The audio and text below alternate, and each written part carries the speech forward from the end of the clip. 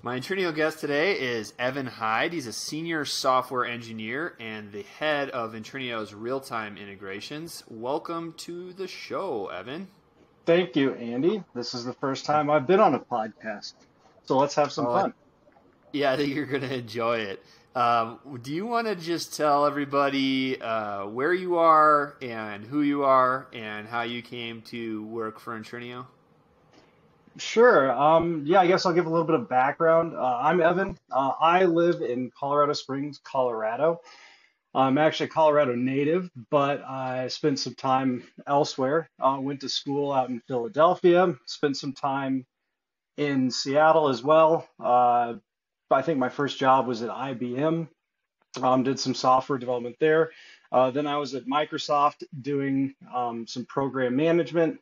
And then I had a, uh, a startup um, that I ran for a while that specialized in or that focused on doing um, some machine learning as it applies to uh, internal combustion engines. We were combining um, machine learning and analytics, um, real time um, data processing uh, with these ultra high performance electrohydraulic fuel injectors um, to create a, uh, an engine that would sort of teach itself how to run. Um, and when that didn't work, then I came to Intrinio. As it turns out, uh, the sort of real time data that you focus on with uh, internal combustion engines, it's all time series data, is very similar to the kind of data that we use when we're doing um, like real time uh, processing of stocks, um, stock prices, option prices, things like that. It's all time series data. Uh, and you can use the sort of the same, I guess, development paradigms or the same programming data structures, um, a lot of the same focuses uh, in order to do both of them. I think I've been at Intrinio now for just over two years, uh, and the problems that I see every day are constantly changing. And um, the projects that I work on, I think there have been sort of like three of them, three big projects. Uh, that's always changing and providing like very interesting things to work with and work on every day. Yes.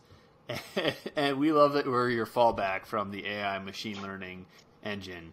Um, can you t- tell our audience a little bit um, about what it takes to make a real time integration? Like, probably most people listening are interested in fintech and they have websites and stuff, and maybe some of them use stock prices. But like, if you could just talk a little bit about actually what's going on with real time stock prices, like at the as the person who is actually creating the plumbing, like what is happening there?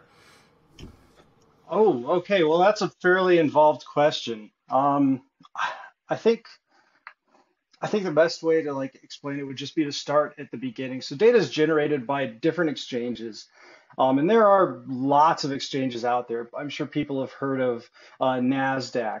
Um, some people may have heard of IEX, uh, NYSE. These are all just different exchanges. And all of these exchanges are allowing individuals to trade uh, securities. It's like an eBay auction, basically. Um, there, where as the product that you're buying on eBay, you know, maybe, you know, a sticker or a car or something. Um, in this case, you're buying ownership of a company, you know, a fractional ownership piece of a company. Uh, I'm talking now about like securities markets, uh, not options markets. Uh, but in these exchanges, yeah, you're buying these little ownership pieces. Uh, and every time um, one of these transactions or every time one of these uh, ownership stakes changes hands, um, that gets tracked uh, and logged. Um, also, every time someone puts in a bid, for example, like just on eBay, like you put in a bid, you say, hey, I'm willing to pay $80,000 for this Porsche or whatever the case may be. Um, that's a bid. Or the person on the other side may say, you know what, I'm looking for a uh, to receive a minimum of $75,000. The same thing happens in these exchanges as well. Uh, there are asks and bids um, as well as trades. When a buyer and a seller come to an agreement, a trade happens, um, and you're going to see that.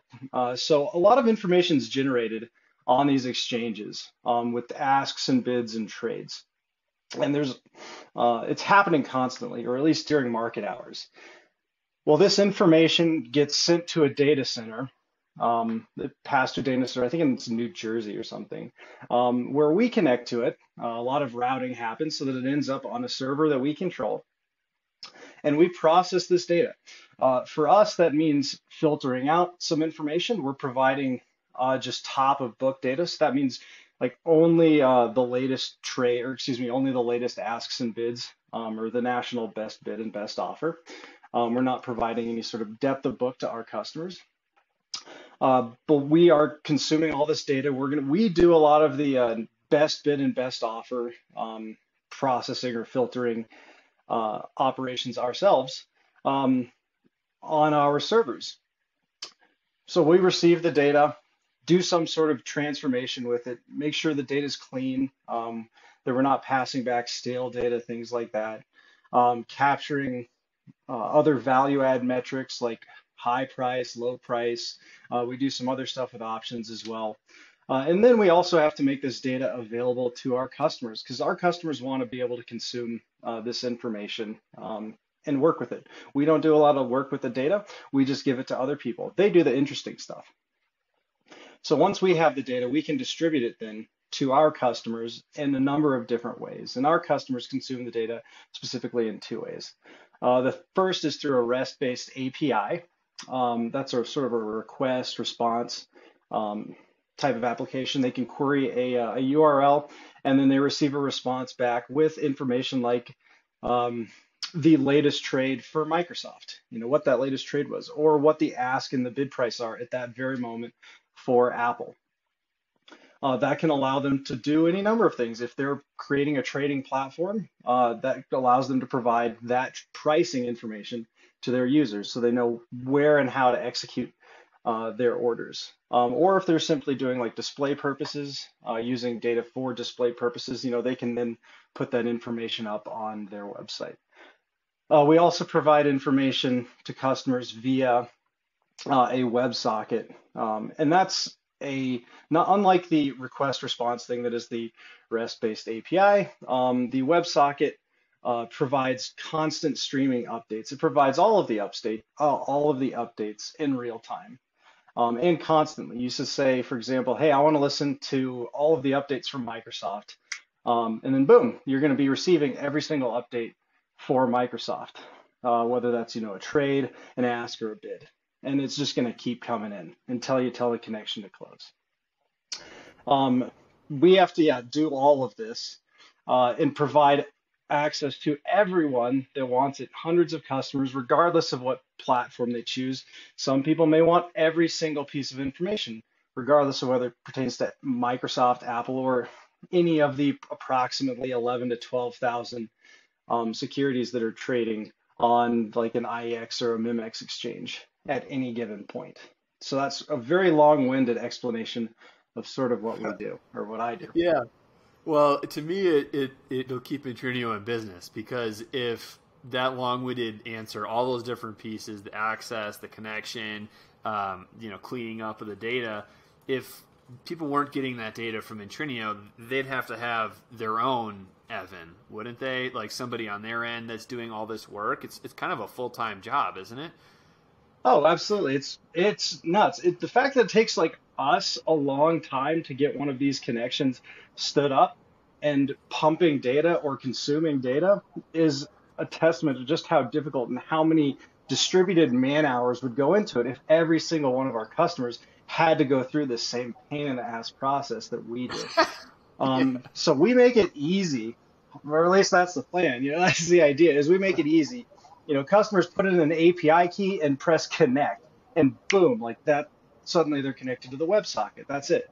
Um, instead of going through the you know, 10,000 lines of code, um, and it feels like a very political process, like getting established, getting connections, getting approvals with the different exchanges, getting all of the direct connect links stood up. I mean, you have to work with uh, the um, individuals that actually like own uh, the on-premise hardware, all the networking connections to the exchanges themselves.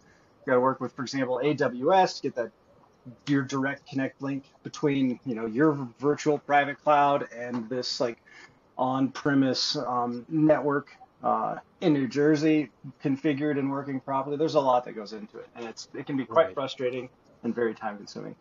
So you know we've done it once. We do it like you know it takes our time, but then once we have this working, then our customers you know can get their system set up in what should be a matter of minutes. Right. I like to say it's the difference between buying a plane ticket and starting to build your own plane. Um, you know, you're already taking off right out of the gate rather than having to start studying how to make a plane. Um, can you talk a little bit about uh, some of the new products that you've been building? By the time this podcast comes out, uh, we'll have released a, a, new feed that combines stock exchanges.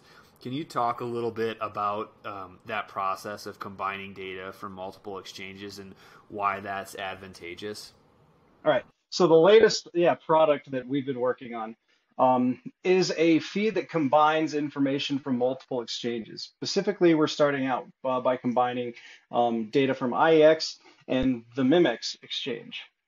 Um, the impetus for doing this was to create a sort of lower cost but very high quality data feed, something that would mimic uh, a, a, SIP feed. Um, a SIP feed is a combination of exchange of data from lots of different exchanges. Uh, it has very tight, um, very strong data. When I say like very strong data, what I mean is that it very accurately reflect, reflects the state of the market. So if you see in a SIP feed that Apple's trading at, you know, whatever the price may be, 120 something bucks, like that's what the price is going to be for Apple. Um, but it's very expensive um, and very difficult to get access to a SIP feed. There's lots of approval that needs to be done, uh, lots of forms that need to be signed, and lots of money that needs to be paid. Our hypothesis is that you can create uh, a feed that very closely mimics um, a SIP feed, but um, without the same rigorous approval processes and at a far lower cost. Uh, and so that's what our combined feed is. Uh, technically what we have to do is we have to take data coming from multiple sources.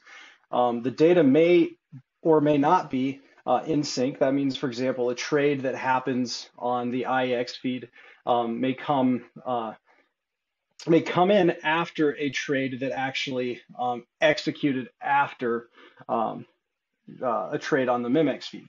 That may sound kind of confusing, but let's just say trades can come in out of order. Same thing with asks and bids. Uh, we also have to be able to manage um, a best bid and best offer system.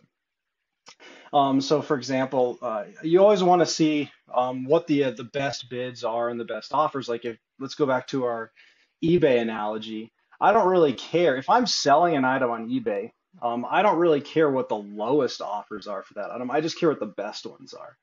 Um, you know, what who's willing to pay the highest price for this object that I'm willing to sell. Same thing from a buyer's perspective. Um, I don't really care like uh, who's trying to sell their product uh, at the most expensive price. I just care about the least expensive. And so we filter out all that information for you so that you're always seeing um, the best offer and the best bid. So in that case, like uh, the best bid bid would be the highest bid, and it would be um, you know the lowest ask price. Uh, so being able to do that and do that continuously while trades are coming in out of order uh, is not technically um, it's not a simple problem. Uh, it does mean caching values um, and being able to look through uh, data quickly to see whether or not an older data to see whether or not you actually have the best option. Then you have to also take into account what happens. Okay, when they clear the books, like let's say IEX clears the books and the asks and bids goes to zero. I mean, you don't want to show zero as an ask or a bid value. Um, so you then have to go back and say, okay, what was the uh, the best value prior to that point? Um, and then publish that out as well. I mean, these are some like small technical pieces, but there's a lot that goes into providing good, solid, accurate data that does very closely uh, mimic the SIP feed um, while doing it in real time. Yeah, it's extraordinarily complicated, um, but at the end of the day, it just amounts from the for the customers because they've got you sitting in between all of this and handling all those complex problems. At the end of the day, what does it mean for them? It means they can get a, a feed with more volume at a lower cost. Yes. Yeah, that's exactly what it is. uh, yeah. And yeah, so, they get better data for less money. And I mean, isn't that what we all want? Is just more for less? Right. Value is the word for it. Um, yeah, there we go. would you- yeah. Would you be able to add more feeds to this eventually if needed? Is there sort of like a, um, a diminishing return to adding more exchanges to a, a, feed like this? Hell yeah, we can add more. That's actually like part of like the uh, the design of the product is that we need to be able to add as many feeds as possible. The second part of your question, I don't know. Um, the hypothesis is that adding more feeds will improve data quality, as it should, right? I mean, the closer we get to actually being the SIP feed, the better, the closer we can be um, to mirroring its data. Um, I have a feeling though that there is some sort of uh, plateau function. As the, with the more feeds you add, um, the harder and harder it is to actually add more value. Sort of the law of diminishing marginal utility. I think you business guys would say something like that. Parsimony. That's the word. That's a, another good word. Look at your vocabulary. See, this is what happens when you're an engineer. You just lose all of that.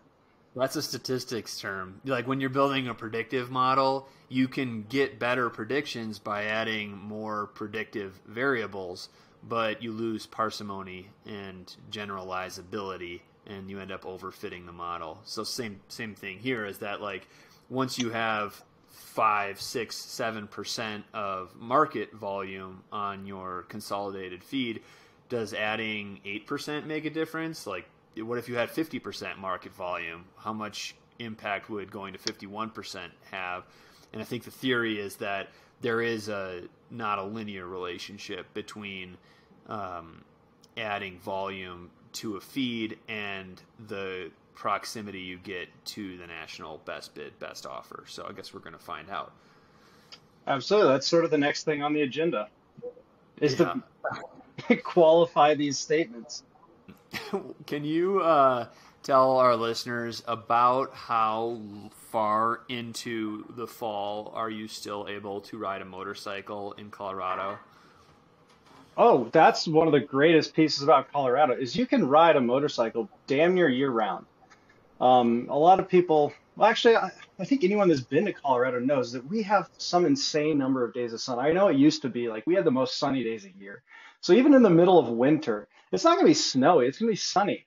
And you can hop on a bike and just go into the mountains. I mean, yeah, as long as you haven't had a snowfall recently or, you know, and you got to make sure there's not a lot of gravel on the roads from the, uh, the gravel trucks that uh, lay it down after a snowfall, but you can ride pretty much year round. I actually prefer riding in like the fall and winter um, as opposed to uh, in the summer, just because it's not as hot. God, I hate the heat on a bike. It's air conditioning in a car is so nice.